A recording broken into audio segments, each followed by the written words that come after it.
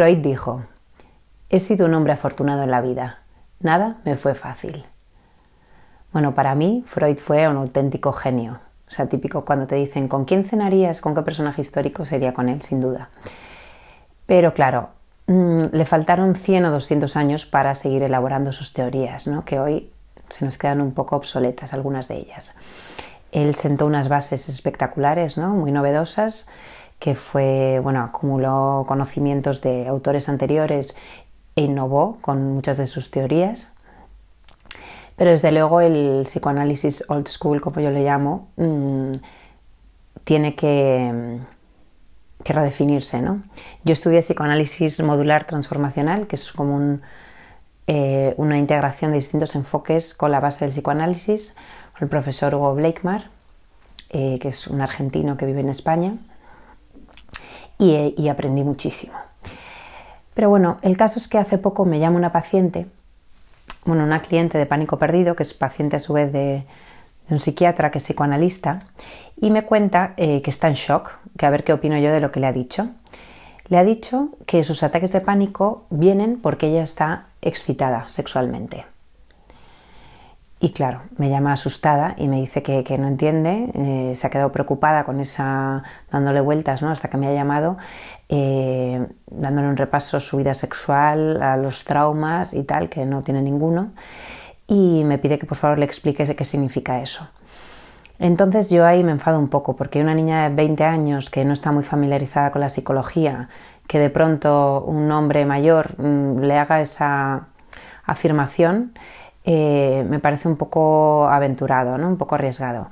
Entonces, eh, quizás lo que él quiso decir es que em, en la ansiedad hay una parte de excitación del sistema nervioso y una parte en la que a lo mejor conectamos con el instinto sexual, que es un instinto que todos tenemos, que está relacionado con un impulso más, no solo relacionado con la sexualidad como tal, sino con el impulso que tiene el ser humano de de transmitir su genética, de tener eh, contacto con otros seres humanos para que evolucione la especie y para procrear y tal, pero no en el sentido como se lo transmitió, ¿no? Le faltó explicarle de dónde venía eh, esa explicación. Quizás él quería decir que eran situaciones en las que ella eh, conectaba con una parte instintiva y tal. Bueno, el caso, mm, caótica la intervención, ¿no? Y ella estaba muy asustada.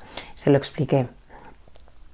Y por eso creo que, bueno, de los grandes maestros como Freud hay que coger lo bueno, pero mm, modernizarlo un poco, no llevarlo al siglo XXI y mm, incorporar todo lo que hemos aprendido de la mente humana durante todos este, estos años, ¿no? desde que Freud nos dejó su legado, que es mucho, toda la teoría cognitivo-conductual, las terapias más humanistas, la hipnosis, em, la programación neurolingüística, el enagrama, son todas aportaciones mm, que tenemos que integrar, que eso es lo que yo he hecho en mis sistemas, integrar todas las distintas perspectivas para mm, condensar el conocimiento más potente en cuanto a la psicología y la fisiología humana. Por ejemplo, el psicoanálisis antiguo decía que mm, hay que poner luz al inconsciente y con eso la persona se cura. El psicoanálisis moderno, que es el que con el que puedo sentirme más identificada en cuanto que hay algunas aportaciones interesantes, como un modelo más, es que no solo hay que traer a la luz el inconsciente, hacerlo consciente, sino también crear un nuevo inconsciente a través de nuevas experiencias, nuevos vínculos y nuevas asociaciones. Entonces, de eso vamos a hablar, de construir un nuevo inconsciente que juega a nuestro favor, automatizar nuevas creencias, nuevas identidades y nuevos patrones, ¿vale? Que favorezcan un comportamiento adaptado a lo que queremos, ¿vale? Para así eliminar la ansiedad y poder vivir con calma, con paz. Nada, otra reflexión, eh, cuéntame qué opinas, suscríbete a mi canal si te interesa el tema de la psicología y cómo vivir una vida libre de ansiedad y te puedes suscribir también a mi newsletter en rociolacasa.com. Muchas gracias y nos vemos por aquí.